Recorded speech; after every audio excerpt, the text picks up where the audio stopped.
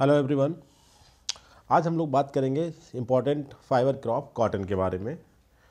Cotton ये important fibre crop of India अब इसके बारे में हम देखते हैं, बिल्कुल एक स्टार्टिंग पॉइंट आपसे किस तरीके से इसकी स्टडी करी जाती है टेक्सोनॉमिकली तो भाई सबसे पहले जो हम बात करेंगे कि इसकी जो आर्चोलॉजिकल एविडेंस मिलते हैं कि कॉटन का जो हिस्ट्री है, कब से इसके बारे में लोग जानते हैं। तो more than four thousand years इसके बारे में एविडेंस मिले हैं, इसकी एग्रीकल्चर कल्टीवेशन के जो एविडेंस मिले हैं, वो तीन हज़ार साल पुराने हैं।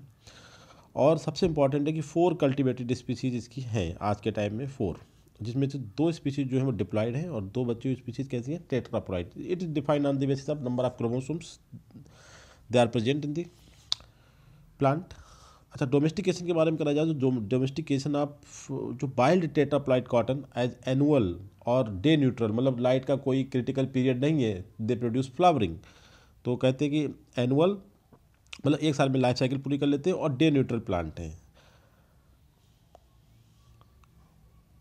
और टेक्नोलॉजिकल एडवांसमेंट के साथ इसकी जो कल्टीवेशन था और इसकी जो प्रोसेसिंग थी, जिसे जिनिंग बोलते हैं स्पिनिंग इसे धागा बनाने की, उसमें एक बहुत बड़ा मतलब रिवोल्यूशन हुआ और it is a major part of the world economy ठीक है? क्योंकि कॉटन इंडस्ट्री का एक पार्ट बन गया। अब उसके बाद, अब इसकी न्यू वैरायटीज आई जब ट्रांसजेनिक कार्टन्स ऑर्गेनिक कार्टन इस तरीके से। तो कॉटन इंडस्ट्री भी कहीं ना कहीं बहुत ज़्यादा ग्लोबल लेवल पर इसका एक सिग्निफिकेंस हो गया। तो आप देख सकते हैं इसमें कि इसकी जो हिस्ट्री है वो चार हज़ार साल पुरानी है। कल्टीवेशन के बारे में जो हमारे पास एविडेंस है वो तीन साल पुराने हैं। और जो मोस्टली जो डोमेस्टिकेशन आज करा जाता है वो टेट्राप्लाइट कॉटन का था और वो डे न्यूट्रल एनुअल प्लांट्स होते हैं। और इसकी चार स्पीसीज का अभी तक हमारे, हम लोग जानते हैं जो कल्टिवेट करी जाती है India as well as other countries of the globe botanical name की बात करें तो इसका बॉटनिकल नेम हम एक सिंगल नहीं कह सकते क्योंकि इसकी चार स्पीसीज होती है तो जीनस जो होता है इसका, वो गॉसिपियम होता है और गॉसिपियम स्पीसीज क्योंकि चार स्पीसीज आप नीचे डिस्क्राइब करेंगे फैमिली जिसे हम मालवेसी बोलते हैं या फिर मैलो फैमिली अब इंट्रोडक्शन कुछ सिग्निफिकेंट वेरी मच सिग्निफिकेंट जो पॉइंट होते हैं, वो इंट्रोडक्शन में हमने इंक्लूड किए बहुत ही सिग्निफिकेंट इंपॉर्टेंट नोट है।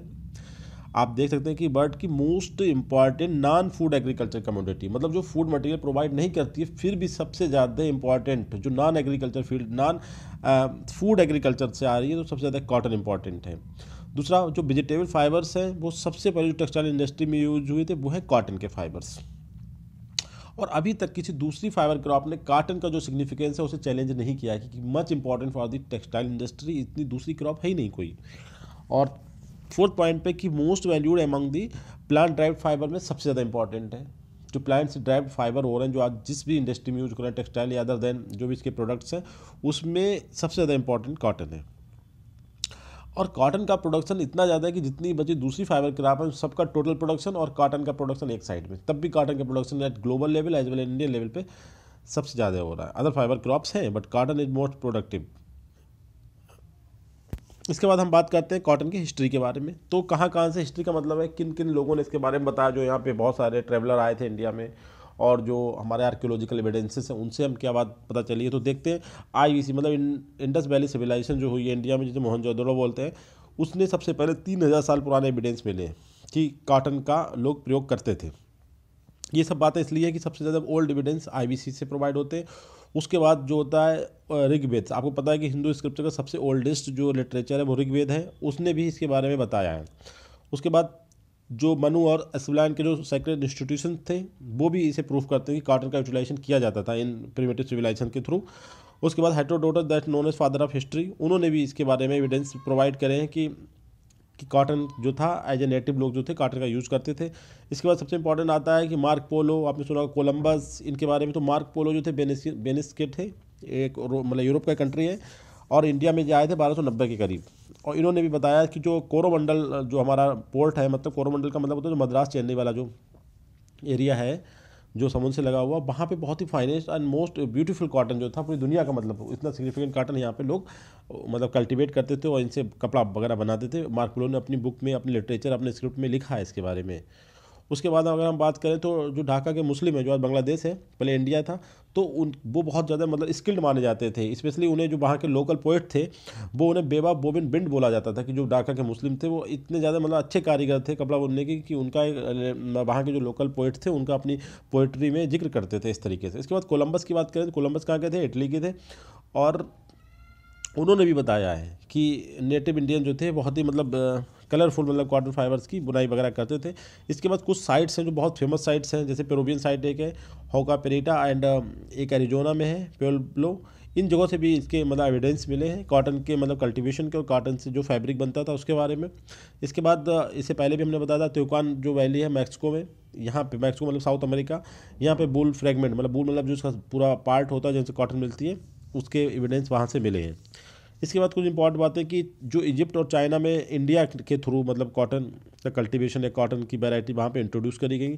और अरब ट्रेडर्स थे, उन्होंने जो था अफ्रीका में अफ्रीकन कॉन्टिनेंट में जो कॉटन का प्रयोग शुरू हुआ, वो अरब ट्रेडर्स के थ्रू हुआ।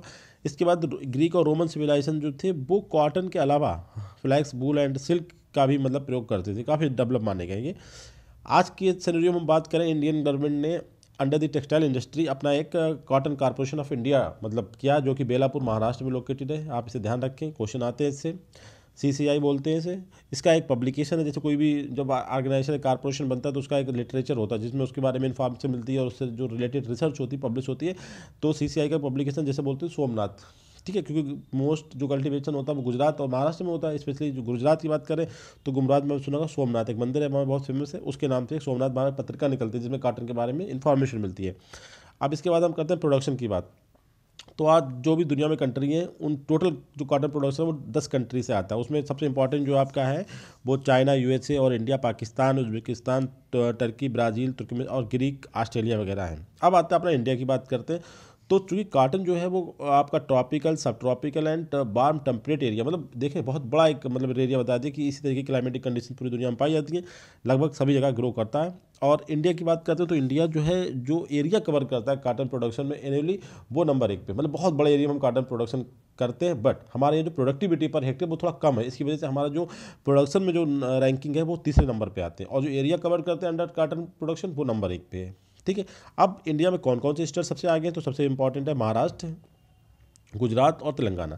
देखिए महाराष्ट्र और गुजरात का जो हालाँकि सबसे ज़्यादा तो ये चेंज होता रहता है, क्योंकि महाराष्ट्र और गुजरात दोनों ही कंपटीटर है, बहुत ज़्यादा काटन का मतलब कल्टीवेशन इन स्टेट्स में होता है। बट दो हज़ार उन्नीस के जो डेटा है, उसमें गुजरात नंबर एक पे और महाराष्ट्र नंबर दो पे। उसके बाद आता है तेलंगाना, ठीक है। जो कभी आंध्र प्रदेश कहलाता था, अब तेलंगाना चूँकि अलग है तो इसलिए तेलंगाना नंबर अगर सेट आता है एग्ज़ाम में तो आपका सबसे करेक्ट आंसर है महाराष्ट्र। गुजरात और तेलंगाना। या जो भी हो सकता है, गुजरात, महाराष्ट्र, तेलंगाना या महाराष्ट्र, गुजरात, तेलंगाना। आप ध्यान रखना है। इसके बाद आता है जो चार स्पीसीज हैं, वो पूरी दुनिया में एज वेल एज इंडिया में किस लेवल से ग्रो करी जाती है, कि कौन कौन सी ज़्यादा करी जाती है तो सबसे इंपॉर्टेंट क्वेश्चन यहाँ से आता है गॉसिपियम हिरसूटम पूरी दुनिया में या फिर इंडिया इंक्लूडिंग सबसे ज़्यादा मतलब पचास परसेंट जो है ग्रो करी जाती है कॉटन हिस्टोटम के थ्रू और 29 परसेंट आर्बिटम के थ्रू और हार्वेसियम के थ्रू 21 परसेंट अब बारबेडेंस जो है, वो इंडिया में बिल्कुल नेग्लेजिबल मतलब कुछ हेक्टेयर थाउज़ेंड हेक्टेयर में ग्रो करी जाती है मतलब ना के बराबर। ठीक है? तो सबसे इंपॉर्टेंट क्या है आपके लिए? हिरसूटम जो 50 परसेंट टोटल जो कॉटन वेराइटीज है जो कॉटन आता है, वो इससे आता है। इंक्लूडिंग इंडिया ग्लोबल लेवल पर भी यही स्पीसीज सबसे ज़्यादा कल्टिवेट की जाती है। अब हम बात करते हैं सिस्टमेटिक मतलब इसकी पोजीशन के बारे में, इसके ट्रांसफ़र के बारे में, कितनी स्पीसीज है, कितने जेंडा है कितने सेक्शंस हैं, उनके बारे में बात करेंगे। तो सबसे पहले आपने सुना होगा हचिनसन जॉन हचिनसन एक बहुत बड़ा टेक्नोमिस्ट हुए। उन्होंने 1947 में बताया था कि इसकी 20 स्पीसीज रिकगनाइज करी थी कॉटन की। On the basis of psychological genetical and geographical as well as archaeological evidences और उन्होंने कहा कि जो जितनी स्पीसीज हैं, इन्हें हमने आठ सेक्शन में डिवाइड कर दिया। कितने सेक्शन में? आठ सेक्शन में। और कहा कि ओनली टू जो है, वो कॉमर्शली इंपॉर्टेंट है। और सिक्सटीन जो है, वो ऑस्ट्रेलिया अफ्रीका मतलब अदर देन जो इंडिया को छोड़ के वहाँ पाई जाती है। और दे आर मतलब पेरिनियल इन नेचर और स्पेशली जो drought enduring shrubs and growing on the desert dry river beds and rocky hills arid area में ग्रो कर जाती हैं। इसके बाद फिलिप्स ने अपना स्टेटमेंट दिया। फिलिप्स ने कहा कि जो सेक्शन है वो आठ नहीं बल्कि नौ है। उन्होंने एक नया सेक्शन ऐड किया। उसका नाम था लोंगी कैलिसियाना ठीक है? उसके बाद आते हैं आपके दूसरे लोग। इन्होंने पहले सेक्शन की बात कर लें। आठ से नौ कैसे होगा ये देखिए। तो आठ सेक्शन के नाम थे ये, आप ध्यान रखें, ये जब दिख रहे हैं आपको, इन्हें देखें सही से नो मिल लिया इसको। इसके बाद इनमें जो, इनकी, इनमें जो स्पीसीज आ रही थी, इनमें जीनस आ रहा है और जीनस में जो स्पीसीज आ रही है क्रोमोसोम का नंबर सबसे मेन आप रखेंगे एन इजल टू थर्टीन ठीक है? और टोटल सेक्शन कितने हो गए? नाइन ठीक है? अब इनके बारे में इंपॉर्टेंट क्या, इन सेक्शन के अंदर जो जीनस और जो स्पीसीज जो वैरायटी जो हाइब्रिड्स आ रहे थे, उनकी सबसे इंपॉर्टेंट क्वालिटी क्या थी? कि उनके सीट जो थे, वो नेक थे, उनके ऊपर कोई मतलब जो रूएँ बज रहा है जो जिन्हें हम कहते हैं लिंट मतलब स्मॉल टाइप के जो फाइबर जिनसे बनता वो नहीं थे। अब उसके बाद दो बच्चे हुए जो आपके, हम आठ का ही ज़िक्र करेंगे यहाँ पे, क्योंकि एक जो है न्यू एडिड है तो उसमें क्रोमोसोम नंबर डबल था, और उनमें जो स्पेशली जो सेक्शन थे वो हार्बेसिया एंड सूटा थे, और इन, इनमें आने वाली स्पीसीज की खासियत ये थी कि इनके जो सीड थे उनके ऊपर लिंट पाया जाता लिंट मतलब जो लॉन्ग स्टेपल जो फाइबर्स होते हैं वो थे। ठीक है हिरसूटा हर्बेसिया इंपॉर्टेंट हो गई, इसलिए कमर्शियल पॉइंट ऑफ़ व्यू से अगर हम बात करें अब बात आती है कि इनकी जो ट्रांसफ़र ऑफ़ द स्पीसीज हुआ है कि कैसे करके जो कार्टन एक कॉन्टिनेंट से दूसरे कॉन्टिनेंट में ए, मतलब ट्रांसपोर्ट हुई है तो इसके बारे में सबसे इंपॉर्टेंट एक थ्योरी है बैगनर की थ्योरी जिनने जिसे बोलते हैं कॉन्टिनेंटल ड्रिफ्ट थ्योरी तो वो क्या बताते हैं इस थ्योरी में? कहते हैं कि जो डिप्लॉयड कॉटन है वो न्यू वर्ल्ड में कैसे पहुँची?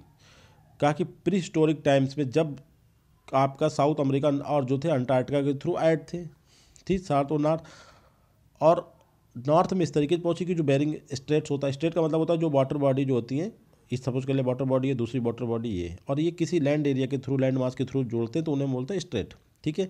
तो इन्होंने कहा कि जो डिप्लॉयड जो ओल्ड वर्ड कॉटन थी, उनके जो पेरेंट्स थे वो न्यू बर्ड में इस तरीके प्री हिस्टोरिक टाइम में ही मतलब उनकी एंट्री वहाँ पे हो गई थी और उसका उन्होंने रीजन क्या बताया था कि वो साउथ अमेरिका में इस तरीके से पहुँचे बाई दी अंटार्कटिका के थ्रू और नॉर्थ में पहुँचे थे बाई बेरिंग स्ट्रेट के थ्रू जो, उनकी अपनी हाइपोथेसिस थ्योरी थी। बैगनर थ्योरी जो concern to continental drift theory कहते हैं, और इसने जो था, इनके transport of the cotton varieties के बारे में बात करी कि इनकी न्यू बर्ड में एंट्री कैसे करके हुई है। इसके बाद हचिनसन और स्टीफेंस ने अपनी एक बात बताई थी। इन्होंने कहा कि कि जो ओल्ड बर्ड डिप्लॉयड कॉटन है, वो न्यू वर्ल्ड में कैसे पहुँची है? पैसिफिक ओशन के थ्रू मैन के हेल्प से पहुँची है। और वो कब पहुँची, किन दोनों पहुँची है? प्री इनका सिविलाइजेशन देखिए इनका एक टाइप के सिविलाइजेशन थे, जैसे कि अपने मोहन जोदड़ो थी आईबीसी थी, ठीक है? इसी तरीके मेसोपोटामिया आपका ईरान में था।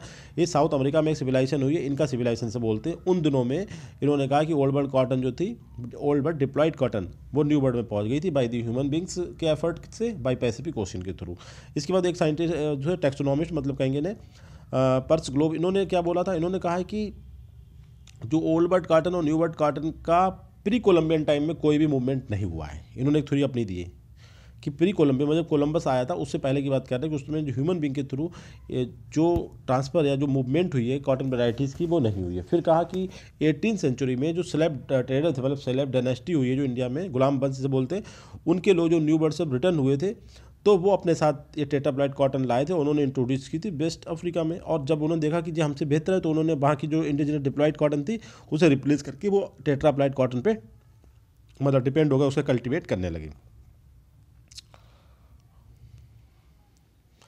अब आता है बात कि जो डिफरेंट वाइल्ड वैराइटीज़ हैं कॉटन की, वो डिफरेंट पार्ट्स में दुनिया के ओरिजिनेट हुई हैं। और इसके बारे में कहा कि जस्ट ए लिंटेड जो स्पीसीज है, लिंटेड का मतलब जो कॉमर्शियल स्पीसीज है आज के टाइम में, वो जस्ट सडन म्यूटेशन एक अचानक म्यूटेशन हुआ और उसके थ्रू वो डेवलप हो गई और ये जो करेक्टर है इनका कि लिंट लिंट का फॉर्मेशन करना around this seed is controlled by a single gene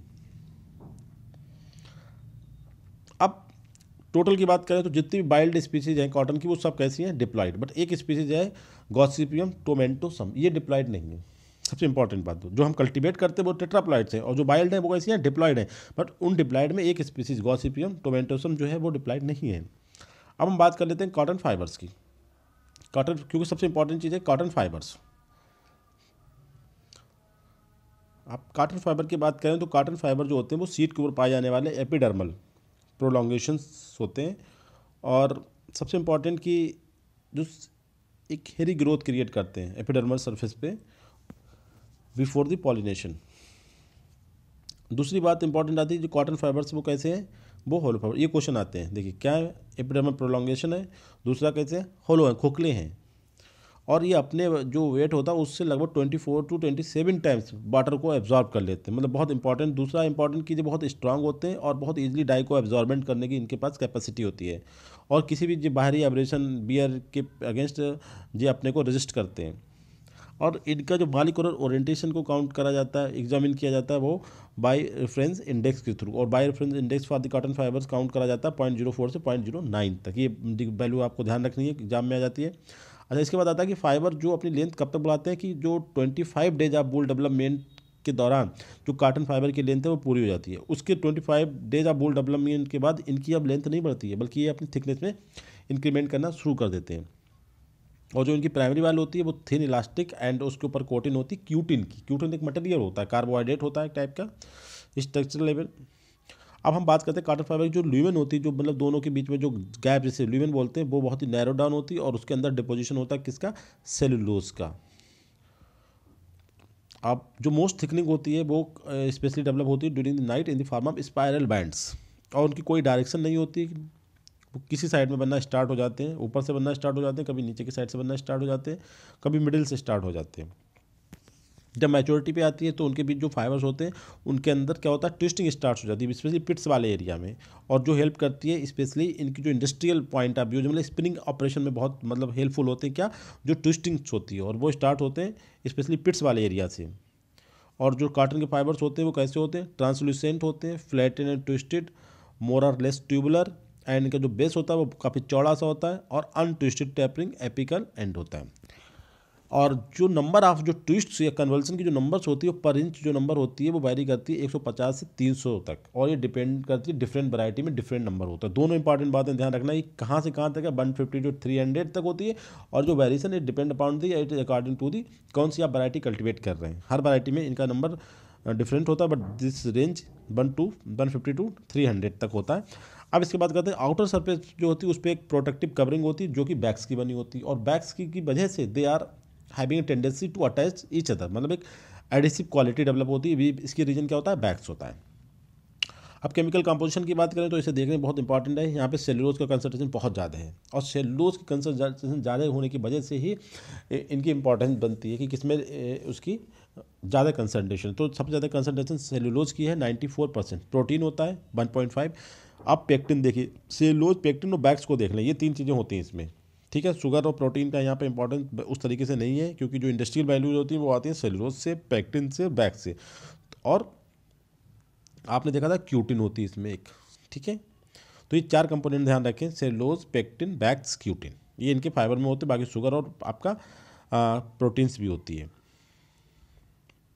अब किस टाइप के फाइबर्स होते हैं, उन पर देख लेते हैं। तीन टाइप के फाइबर डिफाइन करे गए on the basis of their length और सबसे पहले लॉन्ग स्टेपल फाइबर्स जिनकी लेंथ होती है 1.5 से 2.5 इंच या अगर हम सेंटीमीटर में डिसाइड करें तो 2.5 से सिक्स साढ़े सिक्स यूज़र करना चाहिए सिक्स पॉइंट फाइव सेंटीमीटर या फिर इंच मिलीमीटर में बात करें तो twenty five to sixty millimetre अब आता है कि लॉन्ग स्टेबल फाइबर मिलते किससे देखिए, जो इंडियन वैरायटी बिल्कुल ही ग्रो नहीं करती, उस, जो स्पीसीज है गॉसिपियम बारबेडेंस इसकी तीन स्पीसीज होती हैं, ठीक है? कौन से? Sea island cotton Egyptian cotton और अमरीकन इजिप्शियन कॉटन जिसे हम पीमा बोलते हैं, ठीक है? इनसे मिलते हैं लॉन्ग स्टेबल कॉटन सबसे इंपॉर्टेंट बात क्या? इंडिया में ये कुछ हेक्टर पर ग्रो करती है मतलब ऑनली बहुत ही नॉमिनल लैंड एरिया पर ग्रो करी जाती है इंडिया बल्कि कहते हैं नहीं ग्रो करी जाती है, ठीक है? जनरल टर्म में हम ये कह सकते हैं। तो सबसे लॉन्ग स्टेबल फाइबर इससे मिलते हैं। अब इन फाइबर चूँकि लॉन्ग है तो इनके इनके बारे में देखें इनकी fine structure good lustre high quality क्योंकि भाई लंबे तो हाई क्वालिटी तो वहीं हो गई। कॉमन चूँकि लिस्ट कॉमन होते जनरली बहुत ही स्पेसिफिक कंट्री में ग्रो कर जाते हैं।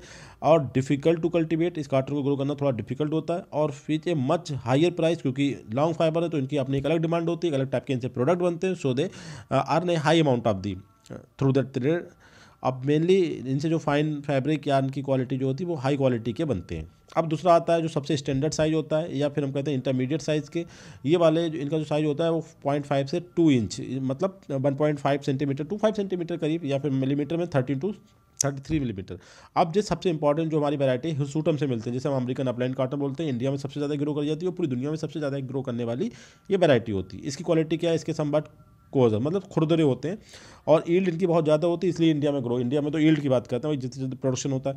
और बट जब ज़्यादा ईल्ड होगी तो प्राइस कैसे होंगे? लो प्राइस होंगे, बहुत एज यूजल बात है प्राइस लो होंगे।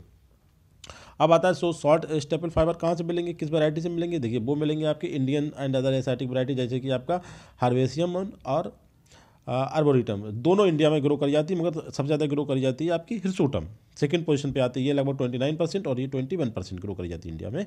तो जो स्टेबल फाइबर्स हैं शॉर्ट स्टेबल फाइबर ये शॉर्ट हैं कोर्स भी हैं और इनमें लस्चर नहीं है, क्योंकि बहुत सारे छोटे तो लस्चर कहाँ से आएगी? और mostly use to make clothes inexpensive मतलब सस्ते वाले आइटम बनाने के लिए, जैसे कारपेट एंड ब्लैंकेट बनते हैं इनसे। अब अब बात करते हैं कॉटन की जो वराइटीज हैं, उनका हम जोग्राफिकल डिस्ट्रीब्यूशन की बात करते हैं। देखिए, इन्हें हमने दो तरीके डिफाइन किया दो ही दुनिया में पार्ट है, एक ओल्ड वर्ड और एक न्यू वर्ड तो अमरीका वाला कॉटन क्या कहलाएगा? आपको सिंपल पता होगा, अमरीका न्यू वर्ड कहलाता है। तो जो अमरीकन कॉटन या न्यू वर्ड कॉटन ये कौन सी कॉटन ग्रो करते हैं हम लोग? हमने कैसा बताया था? जेनेटिकली टेट्राप्लाइड कॉटन्स होती हैं, जिन्हें हम ग्रो करते हैं जोग्राफिकल डिस्ट्रीब्यूशन पर देख लेते हैं। और ये इसमें, इस वाले कॉटन में अब इसमें कोई वैरायटी नहीं बताई। केवल ये बताया कि जो भी कॉटन आएँगे वो टेट्राप्लाइड होगी, उन्हें न्यूबर्ट कॉटन कहेंगे और न्यूबर्ट का मतलब होता है अमरीका से। अब देखते हैं इनमें कौन कौन सी स्पीसीज आती है। चार स्पीसीज में हमने काउंट करिए। सबसे इंपॉर्टेंट जो अमरीका की बात कर रहा है, हमने बताया ना, दुनिया में अमरीका बहुत बड़ा रोल प्ले करता है। जो अमरीका में सबसे ज़्यादा ग्रो करने वाली वैरायटी हिरसूटम इंडिया में सबसे ज़्यादा ग्रो करने वाली हिरसूटम तो अल्टीमेटली हो गई दुनिया में सबसे ज़्यादा जो कल्टिवेटर ग्रोइंग स्पीसीज जो है कॉटन की, वो कौन सी है? गॉसिपियम हिरसूटम है इसके बाद क्योंकि अमेरिका में बारबेडेंस भी ग्रो करी जाती है तो न्यू वर्ड कॉटन में चार आती हैं। तो ये तो आपकी हिरसूटम हो गई और एक हो गया बारबेडेंस दूसरा हो गया आपका गॉसिपियम रेनमोन्टी और एक हो गया गॉसिपियम थुरबेरी ध्यान रखना है, ये बहुत अब नाम पहली बार आए, ये आपने नाम सुने होंगे। ठीक है, ये चार स्पीसीज जो होती हैं आपकी न्यूवर्ड कॉटन या अमेरिकन कॉटन कहलाती हैं और इनका जो फार्मेशन हुआ है हिरसूटम का और बारबेडेंस का, वो कैसे करके हुआ आर्बोटियम को रेमोंडी के साथ मिक्स करा दिया और आर्बोरियम को हमने थरवेरी के साथ क्रॉस कराने के बाद ये वैरायटी इसके बाद हम देखते हैं दूसरी कैटेगरी की कॉटन, जैसे हम बोलते हैं स्किन कॉटन या फिर ओल्ड बर्ड कॉटन आप समझ सकते हैं skin cotton old world cotton इस इसकी जो होती है टेक्सोनॉमी जेनेटिक नंबर वो होता है आपका डिप्लाइड होता है। और ये सेक्शन स्पेशली हर्वेसिया को बिलोंग करते हैं। इसमें जो स्पीसीज आती है, इसमें कितनी स्पीसीज आती हैं? इसमें आपकी दो स्पीसीज आती हैं हर्वेसियम और अर्बोरियम देखिए, सबसे इंपॉर्टेंट बताया टोटल चार स्पीसीज ग्रो कर जाती, वहाँ पे चार अकेले थी दो नई आ गई। अब दो जो इंपॉर्टेंट थी उधर हमने काउंट कर ली न्यू वर्ड कॉटन या अमेरिकन कॉटन में। अब बची दो जो है, आपकी गॉसिपियम हर्बेसियम और गॉसिपियम अर्बोटम आपकी इधर आ गई स्किन कॉटन या ओल्ड बर्ड कॉटन जो कैसी है डिप्लॉइड्स हैं। और इनकी जो इंपॉर्टेंस है, वो क्या है? Less valuable to the human beings क्योंकि सबसे ज़्यादा ग्रो इसलिए करी जाती है, क्योंकि उनका इंपॉर्टेंस अल्टीमेटली ह्यूमन बींग के लिए ज़्यादा है, जो आपका यूएसए में करी जाती है और इंडिया में सबसे ज़्यादा कल्टिवेटेड पूरी दुनिया में सबसे ज़्यादा कल्टिवेट तो उनका इंपॉर्टेंट उनसे प्रोडक्ट बनते हैं, वो ह्यूमन बींग के ही तो काम आते हैं। तो अल्टीमेटली उनकी जो वैल्यूएशन है, वो ह्यूमन बींग के लिए सबसे ज़्यादा है। अब ये जो डिप्लाइड कॉटन है, इनकी जो वैल्यूएशन है, वो ह्यूमन बींग के लिए कम है as compare to tetraploid cotton क्योंकि ये कम एरिया में ग्रो करी जाती हैं। और कह रहा this might have be action during the course of time और हल्के हल्के टाइम के साथ ये कहीं ना कहीं ख़त्म हो जाएँगे एक टाइम के बाद।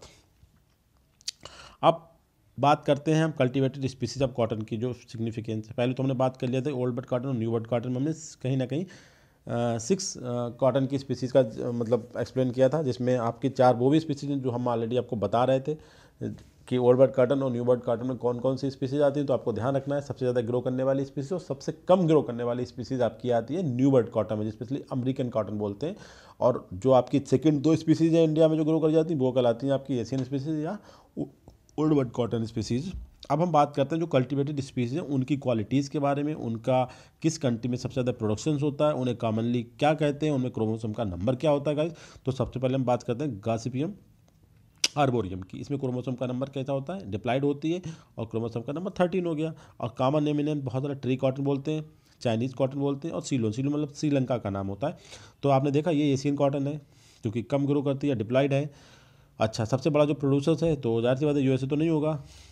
कहीं ना कहीं अमेरिका में जो तो होगी नहीं इंडिया में होती है, वो भी ट्वेंटी नाइन परसेंट तो ट्वेंटी नाइन परसेंट इंडिया में जब ग्रो करी जाती है इंडिया एक बहुत बड़ा कंट्री है कुछ अफ्रीका। तो सबसे लार्जेस्ट प्रोड्यूसर्स है, वो इंडिया और अफ्रीका है, और इसके प्लांट कैसे होते हैं? एनुअल भी होते हैं पेरेनियल भी ग्रो कर सकते हो सब टाइप के होते हैं, ठीक है? और तीन मीटर या तीन से कुछ थोड़ा सा ज़्यादा होता है। वेजिटेबल ब्रांचेज बिल्कुल नहीं होती हैं leaves seven lobed bracteoles more or less triangular और जो इसके सबसे जो इंडस्ट्रियल पॉइंट होता है बोल, वो जनरली थ्री सेल्ड होते हैं और इनके जो एंड्स होते हैं, वो टैपरिंग स्ट्रक्चर होते हैं और प्रोफ्यूजली पिटेड ठीक है? पिट मतलब थोड़ा सा दवाई कहीं पर उठे, छिद्र टाइप के होते हैं और इन छिद्र पिटेड में क्या होती है? आयल ग्रेंड्स होती हैं।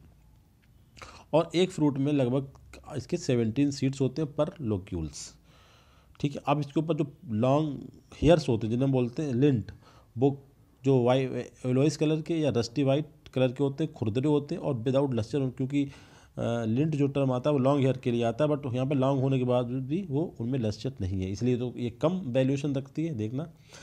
बट स्ट्रांग होते हैं वेरी सॉल्ट अब आता है सब, दूसरा गॉसिपियम और बेसियम इसमें भी कैसी होती है? ये भी कैसी है? डिप्लॉयड है। क्रोमोसोम का नंबर कितना है? थर्टीन है। और कहाँ ग्रो कर जाती है? आपकी इधर ओल्ड वर्ड कॉटन मतलब इंडिया अफ्रीका वगैरह में ग्रो करते हैं इसे। और इसे हम कॉमनली क्या बोलते हैं? लिवेंट कॉटन बोलते हैं। और इट्स जो नेटिव है कहाँ की? ट्रॉपिकल अफ्रीका और मिडिल ईस्ट एंड ना grown China Indonesia north western India and Pakistan में ग्रो करी जाती है। बॉटनी की बात करें, इसका प्लांट की जो हाइट होती है, वो वन से वन पॉइंट थ्री मीटर करीब होती है। Leaves three to five lobes और जो उनके इंसिजन्स होते हैं, वो लीफ की हाफ़ लेंथ ऑफ़ लेमिना तक इंसर्ट हुए होते हैं। ठीक है? अब अनलाइक अर्बोरियम की अगर हम बात करें, जो हमने ऊपर पढ़ी है, उसके अपोजिट बात करें तो उसमें जो ब्रेक्टियोल्स होते हैं, वो वाइडली फ्लेयरिंग होते हैं। बहुत थोड़ा चौड़े से होते हैं एज कंपेयर टू अर्बोरियम इसके बाद बॉल की बात करें तो बेल जो इसका होता है तो वो थ्री सेल्ड होता है। राउंड बिग्ड स्मूथ सरफेस होती है इसकी। तो जहाँ से बात समझ सकते हैं कि लेस क्वालिटी का होगा। Readily with prominent pits glands जो होती कुछ फ्योर इन नंबर्स एंड इनकॉन्सिक्वेंस मतलब बहुत ही इनसिग्निफिकेंट होती है। Fruits open slightly maturity into three to four loci मतलब एक उसमें फ्रूट में थ्री टू फोर लोकाई और एक उसमें जो होता है लोकल लोकस में एलेवन सीट्स होते हैं। ऊपर इससे पहले हमने क्या पढ़ा था? सेवनटीन सीट्स होते हैं। यहाँ पर सीट का नंबर कम है। Usually seed bear two two coats of hairs long वालों क्या बोलते हैं? लिंट और स्मॉल शॉर्ट वालों क्या बोलते हैं? लिंटर ठीक है? लॉन्ग स्टेपल की कितनी होती है फाइबर की? Nine point five to nineteen millimetre और ग्रेन कलर। अब इसके बाद आता है तीसरी वेराइटी देखिए, एकदम टेट्राप्लाइट पे आ गए हम लोग, गॉसिपियम बारबेडन, जो कि यूएसए में ग्रो करी जाती है, इंडिया में बिल्कुल नेग्लेजिबल। बहुत ही कम ओनली फ्यू थाउज़ेंड हेक्टेयर में ग्रो करी जाती है। और स्पेशली कहाँ पे ग्रो करी? न्यूबर्ट कॉटन है और साउथ अमेरिका। ठीक है? और इसके बारे में स्पेसिफिक क्वालिटी क्या है? जो इसकी क्वालिटी ये है कि इसके जो हमने बताया था, अपने इंडिया में बहुत ग्रो करी जाती है यील्ड बहुत कम होती है, मगर क्वालिटी बहुत हाई होती है। तभी तो यील्ड कम है तो क्वालिटी हाई होगी। इसके जो फाइबर्स होते हैं, वो उनकी लेंथ और फाइननेस के लिए जाने जाते हैं। टोटल इसमें फोर वैरायटी जाती हैं, एक सीलैंड कॉटन इजिप्शियन कॉटन ठीक है? और इसके बाद इसकी दो वैरायटी ये है। दो वैरायटी में तांगुस और पीमा ध्यान रखना, ये वैरायटी पूछ ली जाती है। पीमा को हम अमेरिकन इजिप्शियन वैरायटी भी बोलते हैं।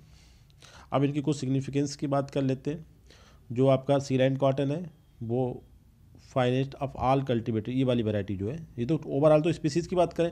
अब जब वैरायटी की बात करें तो उसमें भी सीलैंड कॉटन सबसे फाइनेस्ट क्वालिटी की कॉटन होती है।